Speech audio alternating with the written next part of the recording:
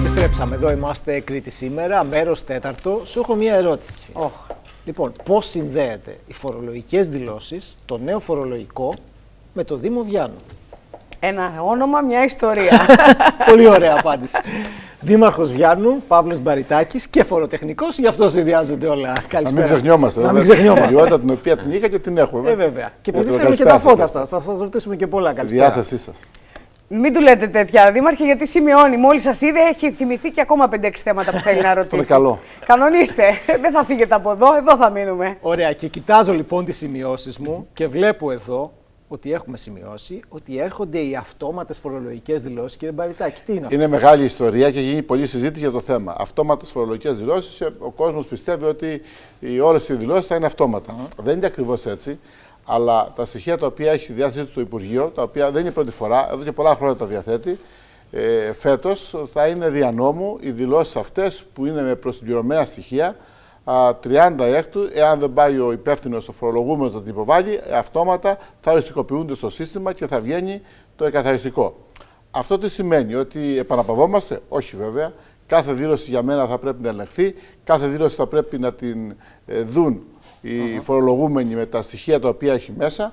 Ακόμα και μια έτοιμη δήλωση σε εισαγωγικά πάντα μπορεί να έχει αλλαγές. Μπορεί να έχουμε αλλάξει αυτοκίνητο, μπορεί να έχουμε πουλήσει ένα ακίνητο ή να έχουμε αγοράσει κάτι άλλο. Μπορεί να έχουμε αλλάξει διεύθυνση, μπορεί να έχει αλλάξει η σύνθεση της οικογενειακή κατάστασης. Μπορεί να υπάρχουν πολλές αλλαγές. Μπορεί να φορολογούμαστε με τεκματό τρόπο και χρειάζεται να κάνουμε ανάλυση κεφαλαίου.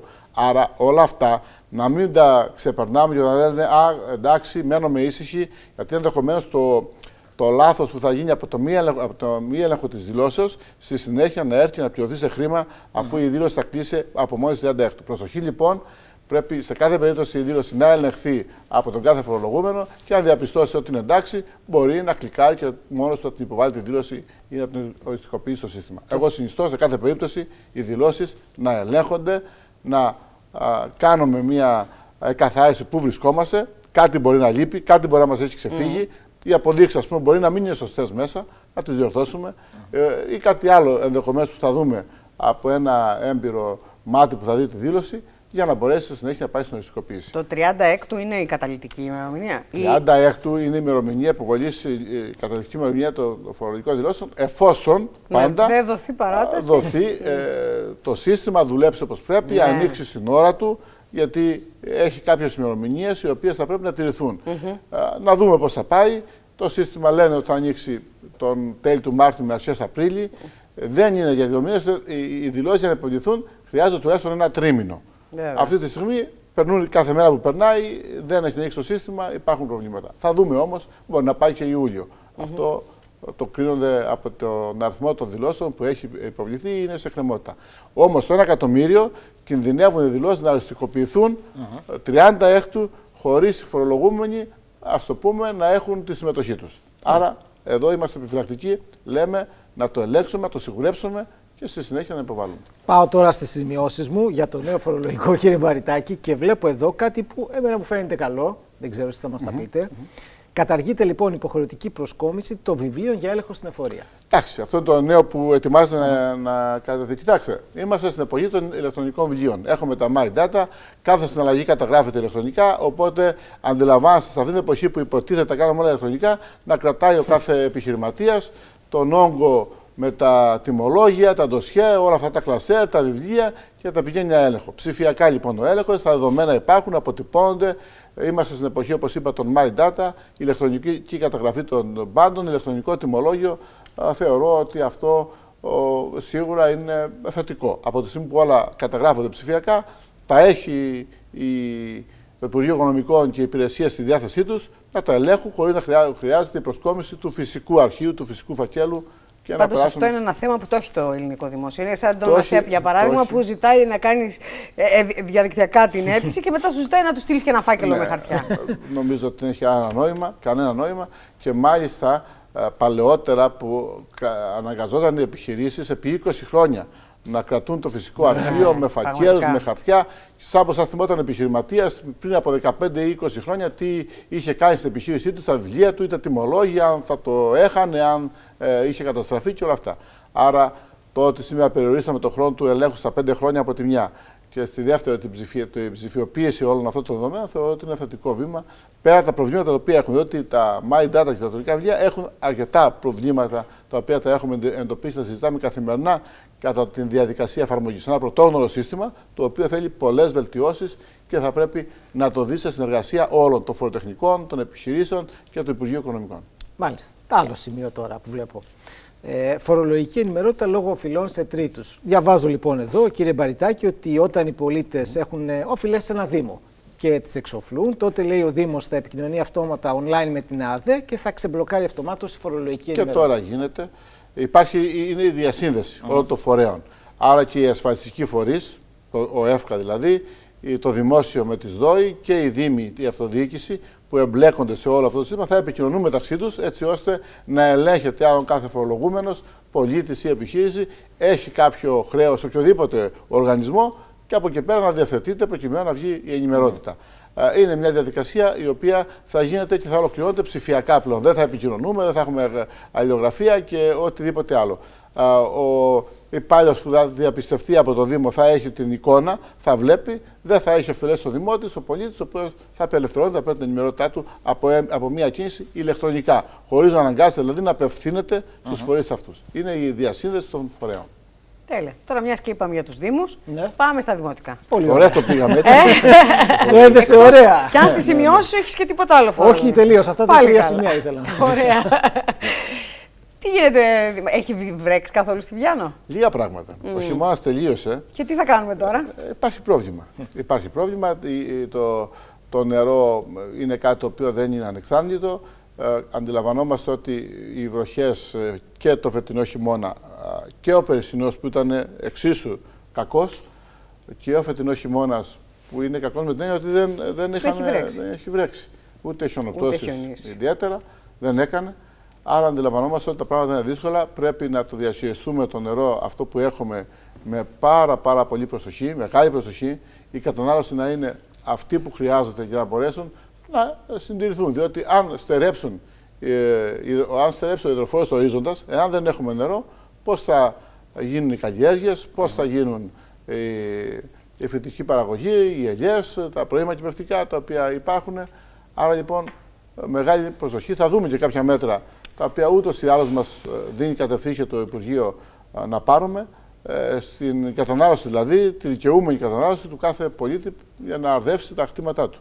Δεν θα είναι δηλαδή, δεν είναι ανεξέλεκτη η πόρη του νερού, του υδάτινου δυναμικού και πρέπει να το όλοι μας με ιδιαίτερη υπευθυνότητα να το χειριστούμε. Για νερό μιλάμε τώρα, Για Δημάρχε. Οπότε το ερώτημα νομίζω είναι αυτόματο. Ε, φράγμα αμυρών. Τι γίνεται με αυτή την ιστορία; Πολλά χρόνια το συζητάμε. Ένα, βέβαια, ένα έργο το οποίο πολλά χρόνια όμως έχει πλήρη οριμότητα και το οποίο το καταθέσαμε στο μέτρο που άνοιξε το Υπουργείο Ακροτική Ανάπτυξης.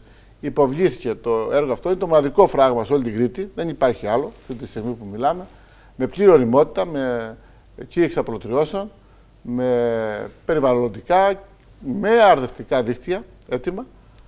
Και βέβαια πλέον είναι η χρηματοδότηση Εμείς όταν ανακάνουμε. Α, εδώ είμαστε ολοκληρωμένοι. Δεν την πατήσαμε όπως άλλες περιπτώσεις στην Κρήτη που πρώτα φτιάχνουμε το φράγμα και δεν έχουμε δίχτυα και μετά δεν θυμόμαστε. Εδώ έχουμε και τα δίχτυα. Είναι, είναι, είναι να λειτουργήσει το φράγμα, δεν κάνουμε. Ε, άρα λοιπόν η μελέτη έχει ε, υποβληθεί από το αρχές του Φλεβάρι που ήταν το μέτρο που είχε ανοίξει για τα φράγματα και πλέον διεκδικούμε τη χρηματοδότηση. Αυτό θα το δούμε. Ε, θεωρώ και ελπίζω ότι το έργο αυτό θα ενταχθεί. Ένα όριμο έργο το οποίο θα δώσει λύση στη νότια, στα νότια του Δήμου μας με χιλιάδες στρέμματα κυπευτικών και λεοκαλλιεργιών που θα αρδεύσει, θεωρώ ότι είναι κάτι το οποίο το διεκδικούμε, είναι ένα δίκαιο αίτημα και πρέπει να το η πολιτεία να φροντίσει να το χρηματοδοτήσει. Τώρα, ο είναι, είναι τώρα η χρηματοδότηση. Ο Δήμος σας είναι αγροτικός Δήμος κατά βάση. Ε, Εντάξει, υπάρχει το παραλιακό μέτωπο για το οποίο θα πούμε στην πορεία, αλλά κατά βάση είναι αγροτικός Δήμος, έτσι δεν είναι; Αγροτικός Δήμος, βέβαια. Ωραία. Πόσα φράγματα και πόσες λίμνοδεξαμενέ έχει; Κα, κα, κανένα. Α, ωραία. δεν έχουμε. Έχουμε ε, διεκδικό βέβαια και από το και έχω πει στον Υπουργό, έχει πει ότι θα, θα χρηματοδοτήσει τις μελέτες για να προχωρήσουμε. Έχουμε βάλει τρεις λιμνοδεξαμενέ, mm -hmm. μελέτες δηλαδή, ε, στην, στο τεχνικό μας πρόγραμμα, προκειμένου να μας χρηματοδοτήσουν τις μελέτες για να προχωρήσουμε και να κάνουμε στις περιοχές αυτές που έχουν, ε, έχουν σοβαρό πρόβλημα κατασκευή τριών νέων λιμνοδεξαμενών. Είναι απαραίτητο. Το νερό πλέον είναι λιγοστό και αυτό το λίγο νερό πρέπει να το συλλέγουμε για να το δίνουμε στους αγρότες μας. Αντλούμε σήμερα με μεγάλο κόστος, εκατομμύρια κόστος από γεωτρήσεις των 500, 600, 700 μέτρων. Αντιλαμβανόμαστε. Πόσο λοιπόν, είπατε; 500, 600, 700 μέτρα. Σαν τα έγκατα της γης δηλαδή. το νερό. Ένα τεράστιο κόστος με το, το ενεργειακό που αντιμετωπίζουμε σαν Δημοσβιάνου. Ε, κάναμε μια πρόταση ήδη και ε, σε λίγο θα υπογράψουμε τη σύμβαση για 10 γεωτρήσεις οι οποίες θα α, αναβαθμιστούν ενεργειακά και ετοιμάζαμε μια πρόταση για άλλες 10 γεωτρήσεις για ενεργειακή αναβάθμιση. Δηλαδή τουλάχιστον οι μισές γεωτρήσεις να αναβαθμιστούν μέχρι το 24, το 25, ε, ενεργειακά να μειώσουν δηλαδή κατά 50% με 60% το κόστος ενέργειας. Είναι πολύ σημαντικό για μας αλλά το νερό αντλείται με ότι αυτό συνεπάγεται. Ε, ο, ο στόχος λοιπόν ε, που βάζουμε σαν δημοτική αρχή, ε, από τη στιγμή που έχουμε ολοκληρώσει το ό,τι μα αφορά το φράγμα μοιρών και μένει η χρηματοδότηση, είναι να προχωρήσουμε στην κατασκευή νέων λιμνοδεξαμενών uh -huh. σε, σε διάφορες περιοχές του, του Δήμου μας. Λοιπόν, Δήμαρχε, η Μέρη είπε, αναφέρθηκε στο παραλιακό μέτωπο, ναι. πολύ σημαντικό. Τι γίνεται τώρα εκεί, η αποκατάσταση του παραλιακού μέτωπο. μέτωπο κοιτάξτε να δείτε. Να πούμε ότι είναι, έχει καταρχήν έντονο επενδυτικό ενδιαφέρον. Έτσι. Α, και... ένα λεπτό τώρα, μιας και το είπατε. Μαθαίνω ότι το τελευταίο διάστημα έχουμε κολοσσούς που κατεβαίνουν στο ναι, νότο. Αλήθεια είναι. Ε, κολοσσούς με την έννοια ότι είναι ε, επενδυτές ε, που είναι μεγάλα ονόματα στον χώρο του, του τουρισμού. Mm -hmm. Και μιλάμε για πεντάστερα, μιλάμε για ναι, τέτοια. Ναι, ναι, μιλάμε για μεγάλες ενωσιακές μονάδες. Ε, Βεβαίως ε, για μας ε, είναι καλοδεχούμενοι να έρθουν. Εμείς θέλουμε τους επενδυτές με τους όρους του οποίους και εμείς πρέπει να δώσουμε και να εγκρίνουμε, με σεβασμό στο περιβάλλον το οποίο έχει ο Νότος. Δημιουργεί λοιπόν ένα άλλο status quo στην περιοχή τη δικιά μας, στο παραγιακό μέτωπο. Υπάρχει ζήτηση ε, στην αγορά γης, έντονη ζήτηση, και εδώ είναι που αυτή τη στιγμή εκπονούμε τη μελέτη του νέου χωροταξικού uh -huh. της Βιάνου. Ήδη έχουμε το ΣΚΟΑΠ το οποίο έχει ξεπεραστεί, είναι τώρα 12 χρόνια που το έχουμε.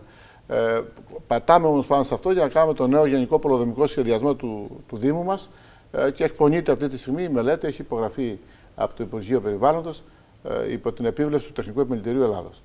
Ε, άρα λοιπόν είναι, είναι πολύ σημαντικά να τα δούμε αυτά. Είναι σημαντικό τώρα και εδώ ερχόμαστε στο θέμα των υποδομών, διότι η περιοχή της Βιάνου με τις υποδομές που έχει σήμερα και με το επενδυτικό ενδιαφέρον που φαίνεται να υπάρχει, δεν μπορεί να, να λειτουργήσει. Θα πρέπει, το είπα και στον Υπουργό, τον κύριο Σταϊκούρα, που είδα πριν μια εβδομάδα στην Αθήνα, ότι εδώ πρέπει να δούμε τις τις υποδομές, τη διασύνδεση του αεροδρομίου. Υπάρχει μελέτη που διασυνδέει, το, ολοκληρώνει το τμήμα του Βιάνος ε, Ιεράπετρα.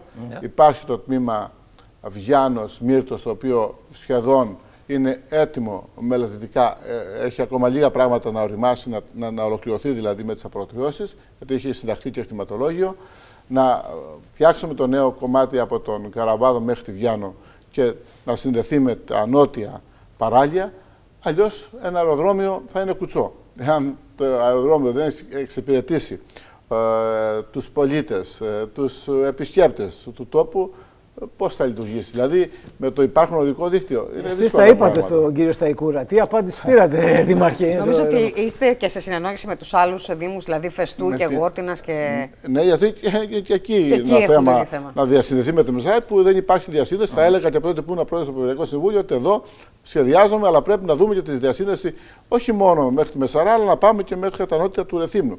Ένα αναπτυξιακό εργαλείο όπως είναι το αεροδρόμιο θα πρέπει να δίνει τη ε, διέξοδο. Ε, εδώ μας αφορά άμεσα με το Δήμο Μινώα και το Δήμο της Ιεράπετρας. Είμαστε τρεις όμοροι δήμοι, οι οποίοι ε, πάνω σε αυτό το κομμάτι θα πρέπει να πιέσουμε μαζικά. Ήδη με τον κύριο Φραγκούλη έχω κάνει αρκετές συζητήσεις και θα το θέσουμε σε μια κοινή συνάντηση και με τον Περιφερειάρχη και με τον Υπουργό για να δούμε πώς, ε, ποιος, πού στοχεύουν. Είναι μια χρηματοδότηση που είναι, που είναι αρκετά, είναι αρκετή, ε, αλλά είναι όμως κάτι το οποίο θα πρέπει να το έχουμε στοχεύσει ε, για να λειτουργήσει και να επιφεληθούν και οι τόποι δικοί μας αναπτυξιακά από το νέο αεροδρόμιο. Και δεν είναι μόνο τα παράλια, είναι και τα χωριά του Δήμου που υπάρχει και εδώ επενδυτικό ενδιαφέρον. Με, με άλλο προσανατολισμό βέβαια, βλέπουμε πολλές αναπαλαιώσεις mm. ε, σε παλιά mm. σπίτια. Ε, έχω, βλέπω τους ψηφιακούς νομάδες οι οποίοι μπαίνουν σε. Έχετε ψηφιακούς νομάδες στη Βιάνο; Ε, γίνεται η, η, το νέο, το, η, τα παλιά κτίρια της Βιάνου τα οποία α, ήδη αναπαλαιώνται θα πάνε για τέτοιους είδους διαδικασίες. Mm. Δηλαδή θα έχουμε ε, η ψηφιακή ομάδα θεωρείται ότι είναι ε, όλοι εκείνοι οι οποίοι είναι εργαζόμενοι yeah. και συνδυάζουν την εργασία τους με το, με τον τουρισμό. Mm -hmm. ε, Άρα δεν έχουμε... λοιπόν η περιοχή. Mm -hmm. ναι, ε, δεν έχουμε μόνο το κλασικό συνταξιούχους από το εξωτερικό όχι, που θέλουν όχι, να πάρουν ένα παλιό σπίτι σε ένα χωριό της Κρήτης. Γιάννος, έχουμε... Βαχό, στα Μοιρά, mm -hmm. ήδη έχουμε ε, ένα, κάποια project που, που τρέχουν και αφορούν έτσι την αναπαλαίωση ειδικά των παλιών οικειών, των χωριών μέσα, που θα έχουν έτσι την, ένα τουριστικό ενδιαφέρον.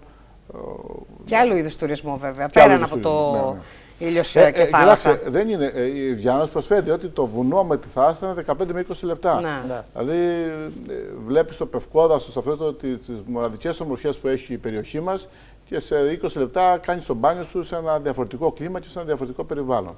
Ε, αυτά είναι πλεονεκτήματα που πρέπει να τα αξιοποιήσουμε. Mm -hmm. Θέμε, το βασικό πρόβλημα είναι οι υποδομές μας. Mm. Οι υποδομές μας είναι, είναι, είναι το δικό δίκτυο το οποίο είναι ξεπερασμένο. Τα λέω και στον, τα έχω πει και στον Περιφερειάρχη. Είναι δήμαρχοι και ε, τα αλλιευτικά καταφύγια που έχετε ε, θέσει στις τελευταίες επαφές, το είδαμε. Τα, τα αλλιευτικά καταφύγια ε, που φτιάχτηκαν τη δεκαετία του 90 και τη Σάρβησης του Καστρίου ε, με προβλήματα. Είναι προβληματικά και τα δύο. Ναι. Ε, μπαζώνουν, γεμίζουν με άμμο, Πρέπει να βγάλουμε την άμμο, διαδικασίες να κάνουμε την απάμωση. Φήμες θέλουν, ε, δήμαρχε, να υπάρχει Εκεί αλλιευτικό τώρα... καταφύγιο στην Κρήτη που δεν χρειάζεται, δεν έχει προβλήματα. Ναι. Μόνο οι φήμε όμως το θέλουν. Φήμε, ναι, συμφωνώ ναι. απόλυτα. Συμφωνώ απόλυτα. Διότι φτιαχτήκα τότε που φτιαχτήκα, χωρίς να έχουν τις μελέτες, mm. να φτιαχτούν σωστά και να λειτουργήσουν όπως πρέπει. Λοιπόν, ε, εμείς κάναμε λοιπόν τη μελέτη, αυτή που δεν έκανε το κράτος, μια μελέτη η οποία ήμουν τότε δήμαρχος και έξι χρόνια πραγματικά μαρτύρησα πάνω στα Υπουργεία για να πάρουμε τη μελέτη. Πήραμε τη μελέτη, πήραμε περιβαλλοντικούς όρου για την περιοχή Καστίου και Ατόκαμπου και τώρα είμαστε στο διατάφτα. Άλλο τρέξιμο πάλι για να βρούμε τα χρήματα να ελοπίσουμε τη μελέτη. Ναι. και φοβάμαι μην λήξουν και οι περιβαλλοντικοί όροι και να τρέχω πάλι από την αρχή. Ε, πιστεύω να τα καταφέρουμε. Έχω θέσει το θέμα παντού ε, ε και στο Υπουργείο Ναυτιλίας που πλέον έχει την αρμοδιότητα των έργων αυτών. Ε, αρμοδιότητα έχουν χρήματα, ψάχνουμε τώρα να βρούμε, και το Υπουργείο Περιβάλλοντος. Ε, θέλω να πιστεύω ότι θα καταφέρουμε να βρούμε τη χρηματοδότηση 2 εκατομμύρια, ενώ το Υπουργείο Ναυτιλίας διαμέσου του Όλη, του Οργανισμού Λιμένου, χρηματοδότησε τη δεύτερη αυτομηχανική μελέτη στην περιοχή της Σάρβης, το άλλο λιμενικό κατοφύγιο. Ναι. Ε, και αυτή εκπονείται τώρα, είναι στη φάση της εκπόνησης. Το θέμα είναι να βρούμε τις χρηματοδοτήσεις, να αποκαταστήσουμε ένα παραγωγικό μέτωπο Καστίκια Ατόκα που είναι 1500 μέτρα, να μπορέσουμε να κάνουμε την παραλία όπως πρέπει να την κάνουμε, να την αξιοποιήσουμε, να την χαρούν και βιολογική. μικρή, μεγάλη και βιολογική. Mm. Γιατί παραλιακό μέτωπο χωρίς βιολογικό και με πεντάστερα ναι. δεν γίνεται, Δήμαρχε. Και Ατόκαμπος έχει ξεκινήσει ο βιολογικός, κατασκευάζεται, είχε κάποια προβλήματα, τα ξεμπερδέψαμε. Δημοπρατούμε και τη δεύτερη φάση του έργου με το που τελειώνει η, η, ο στόχος είναι με το τελειώνοντα η τουριστική περίοδο τον Οκτώβριο να μπει ο εργολάβος να ολοκληρώσει το βιολογικό με τη μονάδα επεξεργασίας λιμάτων που είναι απαραίτητη ε, και είμαστε έτοιμοι να υποβάλουμε το βιολογικό της ψαρής φοράδας. Μόλις ανοίξει το πρόγραμμα, εδώ στο ΠΕΠ Κρήτη θα υποβάλουμε την, ε, ε, τον βιολογικό αυτό, έτσι ώστε να έχουμε όλες οι παραλίες μας να έχουν βιολογικό καθαρισμό. Και στη Σάρβη, ο οποίος χρειάζεται μια αναβάθμιση, διότι έχουμε κάποια προβλήματα μετά από 10-12 χρόνια. Mm -hmm. Το έργο βγάζει κάποια προβλήματα και πρέπει και εδώ να βρούμε κάποια χρήματα να, το, mm -hmm. να αποκαταστήσουμε τα προβλήματα του βιολογικού αυτού. Πάντως ε, δεν καθόμαστε, δουλεύουμε, προσπαθούμε, οριμάζουμε μελέτες και διεκδικούμε έτσι χρηματοδοτήσεις σε όλα τα επίπεδα. Λοιπόν, κύριε Μπαριτάκη, τώρα θα σας κάνω ανατροπή, γιατί ζωντανή εκπομπή ναι. είμαστε. Εδώ έρχονται mm -hmm. μηνύματα λοιπόν τηλεθεατών και μας λένε: Ξεχάσατε να ρωτήσετε κάτι πριν να επανέλθουμε στα φορολογικά, mm -hmm. τον κύριο Μπαριτάκη. Και μου λένε διασύνδεση POS με ταμιακέ μηχανές. Για ρωτήστε, μου λέει τον κύριο Μπαριτάκη. Αυτό προχωράει. Ήταν 28 Δευτέρου, έχει γίνει ο κακός χαμός, διότι οι τεχνικοί προμηθευτές τώρα δεν προλάβαιναν. Ε, ήρθε λοιπόν το Υπουργείο και έδωσε ένα συν ένα μήνα παράταση. Ένα ναι. συν ένα. Δηλαδή έδωσε μέχρι... μια καθαρή παράταση μέχρι 31 Τρίτου uh για όλους. Ναι. Και 30 Τετάρτου όσοι ανεβάσουν στην πλατφόρμα το σχετικό δελτίο παραγγελίας και επίσκεψης του τεχνικού. Θα ανοίξει μια πλατφόρμα που θα λέει ότι εγώ ένα τεχνικό μου έκλεισε ραντεβού στις 20 Απριλίου. Ναι. Άρα λοιπόν αυτοί που θα κλείσουν το ραντεβού, όχι μόνο να το κλείσουν, αλλά θα το δηλώσουν στην ειδική πλατφόρμα που θα ανοίξει τις επόμενες ημέρες ε, για τον Απρίλιο, θα μπορούν ε, να πάνε μέχρι τον Απρίλιο. Οι υπόλοιποι μέχρι 31 Τρίτου θα πρέπει να έχουν διασυνδέσει υποχρεωτικά τις ταμιακές μηχανές με τα POS. Μιλάμε για τα καταστήματα εκείνα τα οποία έχουν υποχρεωτικά χρήση ταμιακών μηχανών ε, και εκδίδουν αποδείξεις λιανική και ο πελάτης Ναι. θέλει να πληρώσει με την πιστοτική του κάρτα. Διότι το όριο των 500 ευρώ μετρητά ισχύει ακόμα έτσι, δεν έχει καταργηθεί. Μάλιστα. Κάνα ερώτημα άλλο. Εντάξει, αντλήσουμε. Ε, δεν έχεις αφήσει τίποτα. Μπορείς, άμα θέλεις, να πας και σε άλλα θέματα. για το περιφερειακό, Κοίταξε, για να τις- μπορούσαμε να ρωτήσουμε. Έχουμε Πολλά. και εμείς στους Δήμους είχαμε ΚΕΔ, έχουμε ΠΕΔ αύριο. Ωραία. έχουμε Μόνος του, τα Αύριο δίνει έχουμε πάτσα. πρώτη Αύριο πέδε. έχουμε ΠΕΔ. Ναι, Λοιπόν, συ- συγκρότηση συγκρότηση, σώμα. συγκρότηση Ναι. σώμα. Αύριο. Εντάξει, το- τυπικό τώρα είναι αυτό, τυπικό κύριε το θέμα, Μαριτάκη. βέβαια. Και Είμαστε, Ο Γιώργος το- Μαρινάκης δεν θα είναι Ναι, ο νέος Γιώργος πρόεδρος. κ. Μαρινάκης θα είναι ο πρόεδρος. Και από εκεί πέρα για μας το θέμα είναι μόνο τα, τα προβλήματα. Νομίζω ότι εκεί όλοι οι δήμαρχοι και οι αυτοδιοικητικοί της Κρήτης πρέπει να έχουμε μια κοινή γραμμή για να αντιμετωπίσουμε τα πολλά προβλήματα της αυτοδιοίκησης. Είναι πάρα πολλά. Να διεκδικήσουμε και πόρους και προγράμματα α, και στα θεσμικά που έχουμε πολλά θέματα να, να, να λύσουμε. Όλα είναι τώρα μετά τις εκλογές στην ΠΕΔ είναι όλα καλά, γιατί δεν θα έχουμε και την εκλογική μάχη για τον ΕΣΔΑΚ. Ε, κύριε Μπαριτάκη, Και ο ΕΖΑΚ θα βρεθεί λύση. δεν θα υπάρχει. βρεθεί λύση. Δεν θα έχουμε τίποτα ιστορίες. Δεν νομίζω, όχι, όχι. όχι. Είμαστε, είμαστε, θεωρώ, η αυτοδιοίκηση μπορεί να βρει λύσεις και να γίνει συνεννόηση και δεν υπάρχει κανένας λόγος για κανένα μας ε, να λειτουργήσει αυτός ο αναπτυξιακός οργανισμός που λέγεται ΕΣΔΑΚ και που θα έχει σημαντικό ρόλο διότι διαχειρίζεται τα απορρίμματα ε, τριών περιφερειακών ενωτήτων της Κρήτης. Μεγάλο το θέμα. Τα εργοστάσια μπαίνουμε σε ε, μια α, άλλη διαδικα... ε, λογική επεξεργασίας των, των αποβλήτων, των στερεών αποβλήτων και σε αυτό αντιλαμβανόμαστε ότι όλοι μας πρέπει να στηρίξουμε τον οργανισμό αυτό ε, για να μπορέσει να είναι ένα εργαλείο σωστό ε, για την αυτοδιοίκηση για τους πολίτες. Γιατί αντιλαμβανόμαστε ότι ε, το περιβάλλον είναι στο, το πρώτο που πρέπει να μας Όλα ωραία. Εντάξει, και λίγο ίντριγκα να υπάρχει δεν είναι κακό. Και για Όχι, εμά ναι, να δημοσιογράφου. έχουμε να λέμε Όλα, και όλα στο χρειάζονται, κατευθείαν. αλλά μην, μην αγχώνεστε ότι Να μην όλα- περιμένουμε πολλά πολλά. ό- όλα θα πάνε καλά. Ευχαριστούμε πολύ, κύριε Να είστε καλά. Δήμαρχε. Ευχαριστώ. Καλή δύναμη, καλή συνέχεια. Ευχαριστώ πολύ.